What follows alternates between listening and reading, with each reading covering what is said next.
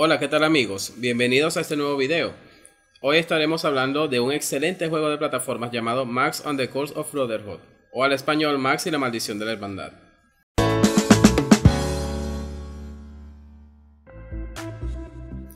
Para comenzar, este juego existe en la plataforma Xbox 360, Xbox One, PC, PS4 y Nintendo Switch, siendo lanzado en el 2013 para Xbox One, y sus últimos ports que fueron lanzados en 2017 para Nintendo Switch y 2018 para iOS. Este juego pertenece al género de plataforma y rompecabezas. A pesar de que el juego es de dirección bilateral, sus escenarios son de en 3D, creando así un muy vistoso recorrido a lo largo de sus 20 niveles. Hablando un poco de la versión de Nintendo Switch, a diferencia de los otros, no sé en la versión de Xbox One o PS4, pero es un poco raro que en el modo portátil tenga tantas caídas de FPS en la parte que se aleja la cámara. De igual forma no deja de ser un excelente port de este grandioso juego para llevarlo de forma portátil a donde quiera que vayas.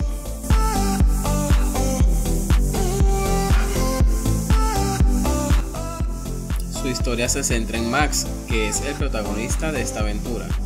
Él encuentra a su hermano haciendo desastre en su habitación, cosa que lo molesta rotundamente y comienza a buscar en Google, una parodia al motor de búsqueda Google.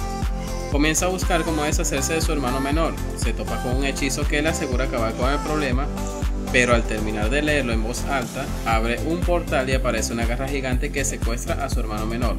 Consternado por el acontecimiento, Max salta sin dudar al portal en busca de su hermano menor para remediar el error que acaba de cometer, encontrándose así con un mundo hostil controlado por Lord Mustacho y sus secuaces.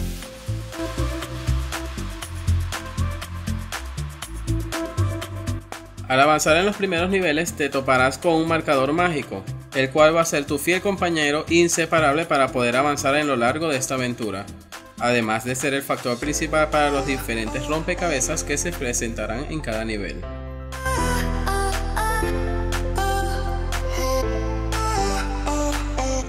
Max and the Course of Brotherhood es un excelente juego que además de resaltar en su versión para Nintendo Switch por su modo portable, también sería de considerar y de verdad nos gustaría mucho que se lanzara una versión para Android, así como la que existe para iOS, ya que sería muy disfrutable para nuestros dispositivos móviles.